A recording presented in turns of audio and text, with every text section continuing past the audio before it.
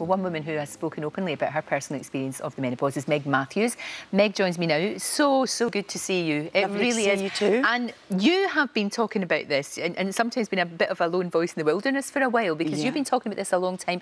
And it is so important that we do speak about it openly. We talk to our friends, we talk to our daughters, we talk to our mothers, our sisters, everyone. Yeah, that's what I think. The most important thing is to share with the menopause.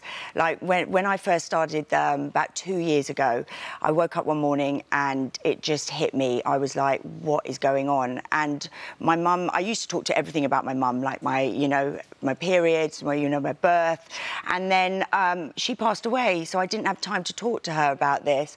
And um, I just felt very alone. And then all of a sudden, I didn't put it down to because it was anxiety.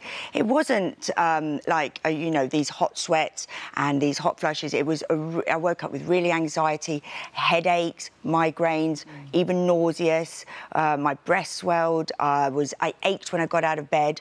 And I just had all these symptoms. And and I was too scared to tell everyone because I thought, oh my God, I'm, I'm, I'm just absolutely falling apart. Yeah, and you the, the, anxiety thing's really interesting because I think an awful lot of women suffer from that and they don't. Yeah. And it is what it is sadly one of the many, many side effects of, of, of this thing that happens to yeah. all of us.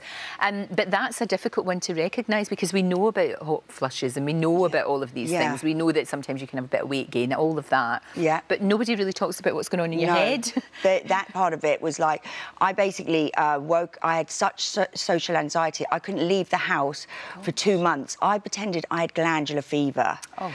I just, I, the, I used to open my wardrobe, I couldn't even think what to say. I had this foggy brain.